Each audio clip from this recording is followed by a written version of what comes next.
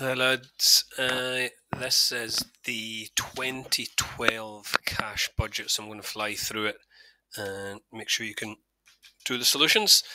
Um, so we're dealing with um, DIN Limited, successful retailer. Okay, so you're given a load of information. Um, let's just have a look. So you're given sales for six, mo- uh, six months and the total. You're given purchases for six months and the total as well and the expected selling price is 50 euro. So, in order to work out how many sales, it would be the sales revenue divided by the sales price. That will give you how many sales. Um, for sales, this is how it's going to be dealt with. So, cash customers, 40% of sales will be for immediate cash, and cash discount 5% will be allowed. 60% of sales revenue will be from credit customers, these debtors will pay their bills 50% in the month after sale and the remainder in the second month after sale. So basically, if you take July's sales, for example, um, I'll just do it at the side here. So you're going to have 520 paid for immediately 40% with a 5% discount. So basically, times 40% times 95%, and that will give you the figure. Then 60% is paid thereafter, half of that the next month, half of that the next month. So basically, again, 520 multiplied by 60% multiplied by 50%, which is basically 30%, would be paid. So this would be paid in July, this would be paid in August, and then in September again you would have 52,000 times 60% times 50%. Um, so you have three months to pay. For purchases, similar sort of thing, except it's two months. Purchases will be paid 50% in the month after purchase with a 2% cash discount, and the remaining purchases will be paid in the second month. So we'll deal with that in a second. Then you're given expenses. Uh, expected costs and capital costs, you're asked to do a cash budget and a budgeted profit and loss account. So I'm going to fly through this now. So first of all, we'll deal with cash sales. So like I said, any workings I'm going to do at the side here. So cash sales, what I'll show you is how to work out July's and then you can go ahead and do the rest. So over here, I'll call it note one. So for July's figure, so July, if I go back to the question, July is sales 520,000. So what will be paid in July? 520,000. 40% of that and you're also getting uh, giving 5% discount. So I'm going to multiply that by 95%. Okay, and that will give me my July figure, which in this case will be 197,600. In August, so again, I'm based off 520,000, 520,000 multiplied by, now if you're good at maths, you can do this in your head, but it's 60% by 50%. So I'm just going to do 30%, which is 156000. And it's the same for September 520 multiplied by 30%. 56000. Okay, so basically the cash sales for July would be 197,600. Then in August, 156000. In September, 156000. Okay, and that's going to that's what's going to happen all the way along. So if we if we deal with August, we go back and we look at August sales, 540,000. We're going to do the same thing as up here, 540 times 40% times 95%. And I'm just going to go ahead and I'm going to fill these in. 205, 200, 162, and 162. Okay.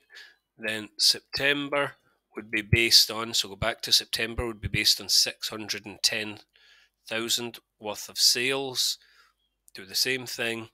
It's 231 800 and 183000 183000 going to October. October is based on 630,000. So that would work out at 239,400. In November, 189. December, 189. For November, obviously, we're just going to have cash sales and one month because we're only doing as far as December.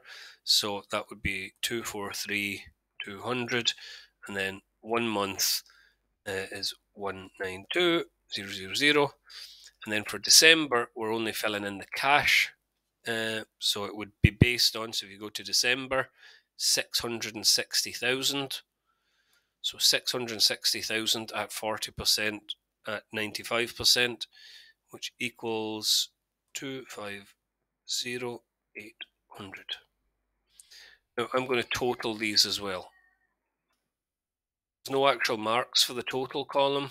Um, I'm going to use it because it just makes things easier later on. Okay, so that is your sales. For purchases, so go back to purchases. Um, here we are here, the purchase row. 220 is July.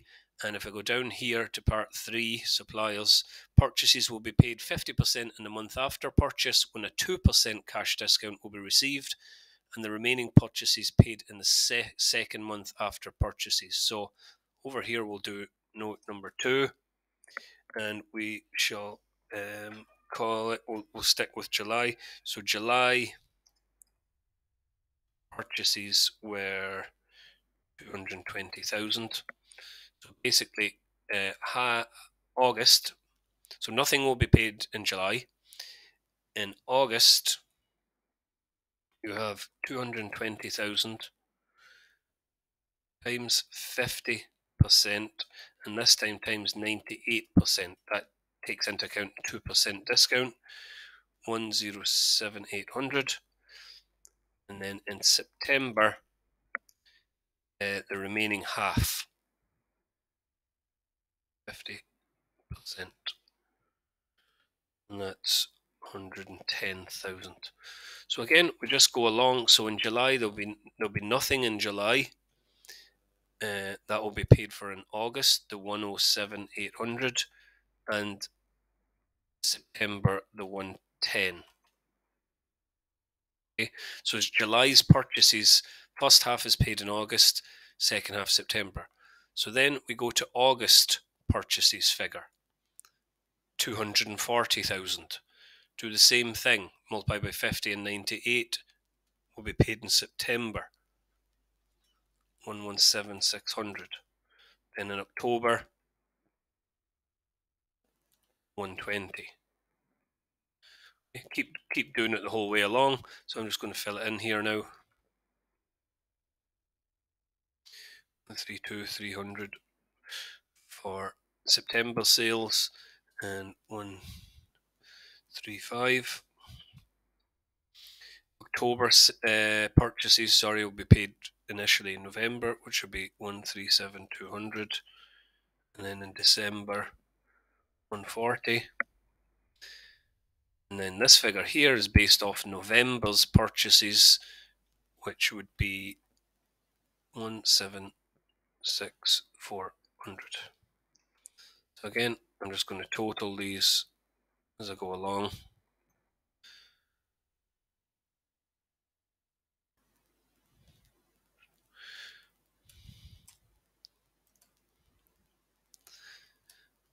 Okay, moving on, the rest of it's quite easy. Wages, so I'll go back to the question. Um, wages 50,000 per month payable as incurred, so 50,000 the whole way along. Very straightforward.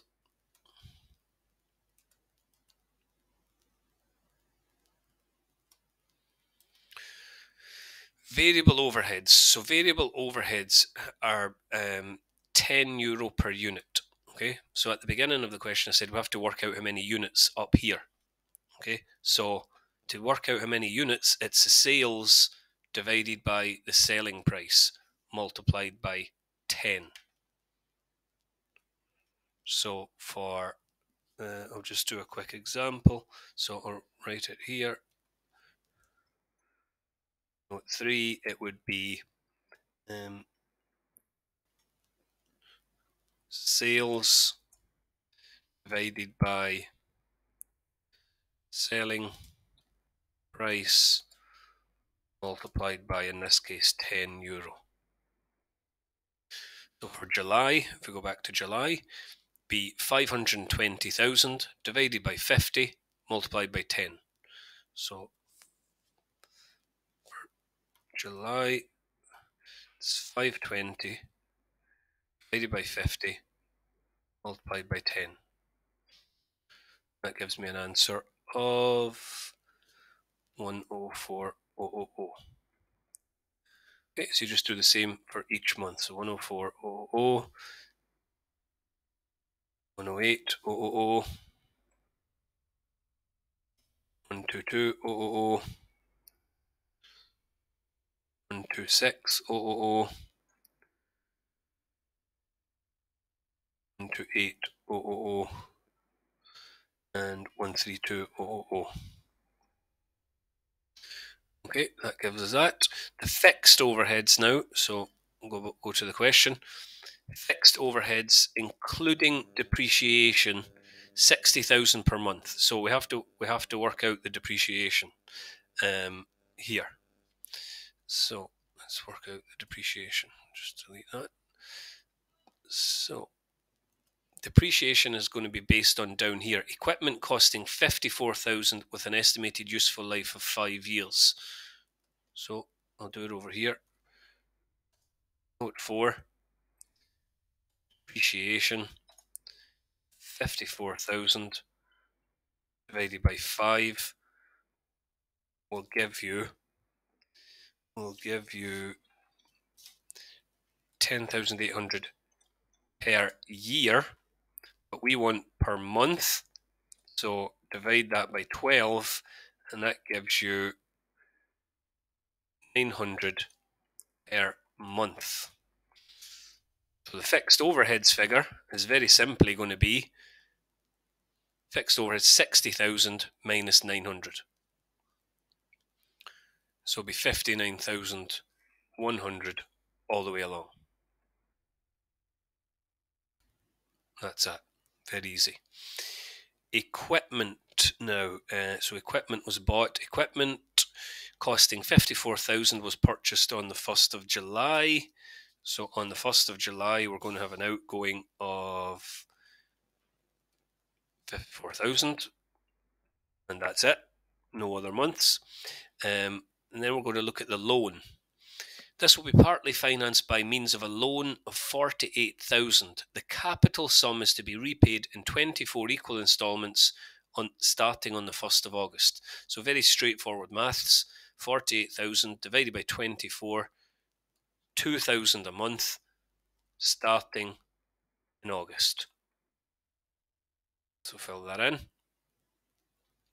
Okay, and the last thing we need to do is interest. So interest, um, if we look here, the interest for each month is to be paid on the last day of each month based on the amount of the loan outstanding at that date. So I'll do a note over here note 5. Okay, so the loan interest starts straight away. So just do, for example, July will be based on 48,000, the amount of the loan, times 6%, and make sure you divide that by 12, which would give you 240 euro. August, have to take away the 2000 loan installment that's been paid. So 46,000 times 6% divided by 12, which in this case gives you 230. Then we do the same for September, which is 44,000 times 6% divided by 12, which in this case is 220. Okay, and carry the same, keep going the same way. So 240, 230, 220, 210, 200, 190. Okay, that's everything there. Okay, so I'm just going to, what I need to do, I'm going to go up here, I'm going to add up the receipts. Should have done that up there. So that's, I'm going to highlight these because it's important. Okay, I'm going to do the same for payments.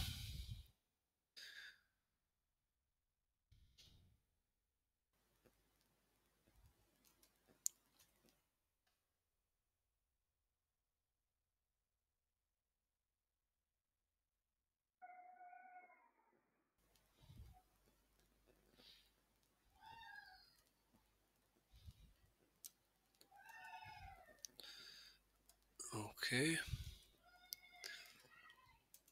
So in order to finish out, so net cash. So net cash is receipts minus payments. Do that all the way along. That's what you get. Okay, do that all the way along. The bank loan. The bank loan was received in July. That was 48,000. Opening balance. Always look in the question, is there a mention of an opening balance in the bank? in this question, there wasn't any mention of an opening balance. So what we're going to do is we're going to put zero in here and we're going to put zero in the total column as well. And from here, net cash, in this case, plus the bank loan, plus the opening balance gives you the closing balance. So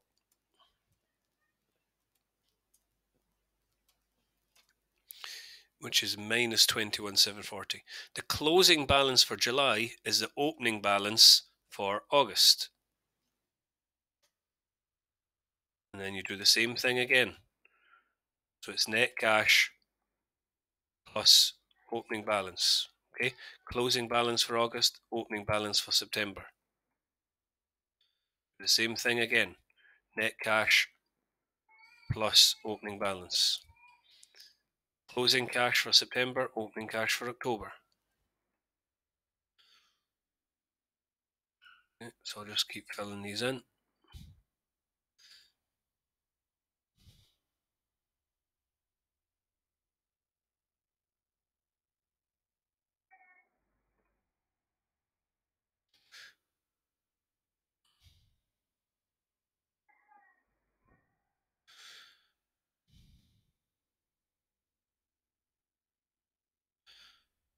All the way to the second last column, I get 371,810. Now I don't do. I, now I go to the total column and I just do my calculation. So net cash plus bank loan plus opening cash should give me the same answer. 378810 is my answer, final answer. Okay, that's cash budget done. Now I'm going to move on to the P&L. Very straightforward, but just a couple of things I need to point out. So I've already done the P&L um, layout. So sales and less cost of sales. If you look at the question, we have sales up here is already given to us. The total sales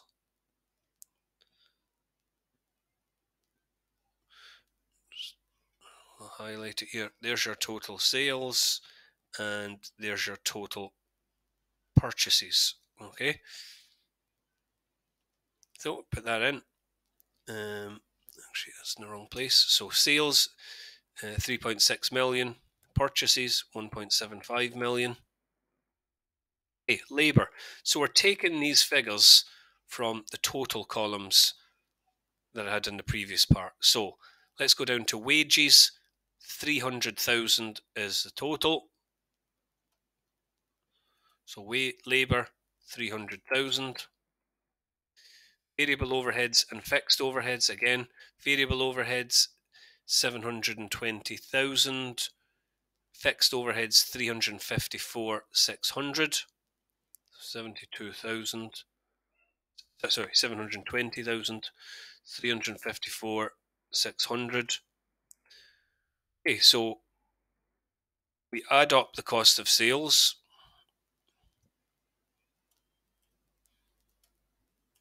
and we take it away from the sales in order to get net uh, gross profit.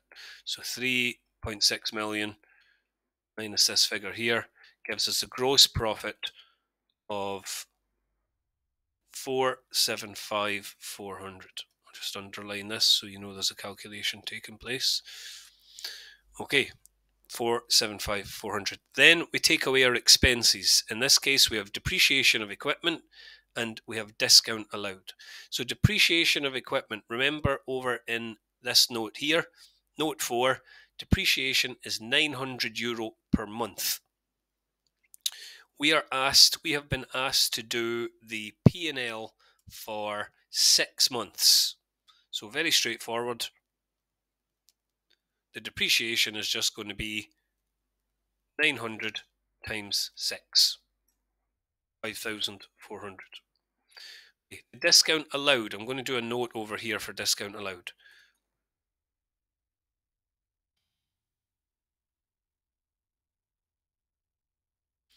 Okay, so discount allowed is going to be based on total sales, which is 3600000 times the 40%, which is paid immediately, times 5%, which is the discount figure, and that gives me a figure of 72,000.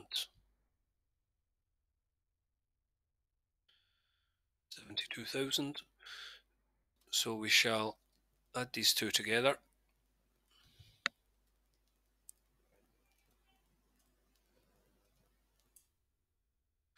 Okay, so we're going to take this figure away from this figure up here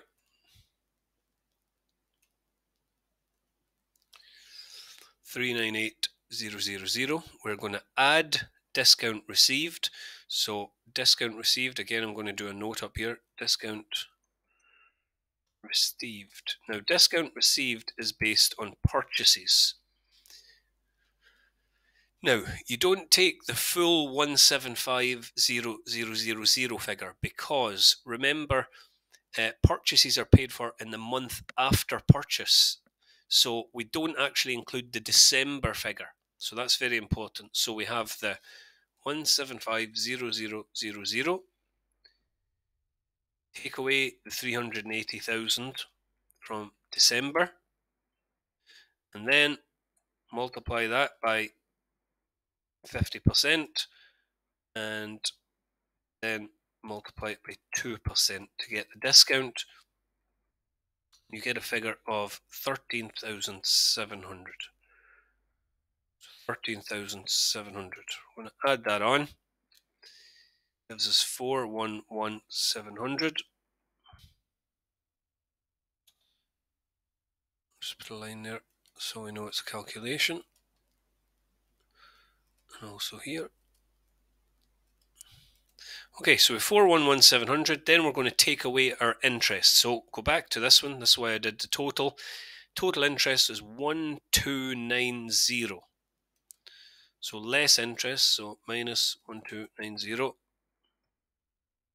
gives us a final net profit figure of 410410. That's our final figure. Okay. Now, the last bit of the question was a bit of theory. What factors should be taken into account uh, by DIN in arriving at the expected sales of 360,000 for the six months? Okay, so what are the factors arriving at the sales figure? This is a budget, remember? So you're going to base it on stuff like what were last year's sales? So down here, what were last year's sales, so you'll base it on that. Market research, opinions of sales managers and sales representatives. this is a budget, so they're just estimates. Trends, state of the economy, whether things are growing or uh, going down. The price to be charged, the sales price, is that going up or down? Competition in the market, is it a luxury or a necessity? Will people still buy it? Or uh, if it's a luxury and price goes up, people won't buy it. Okay, so you'd need probably three of the three of these to ensure the five marks. Okay, thanks for watching.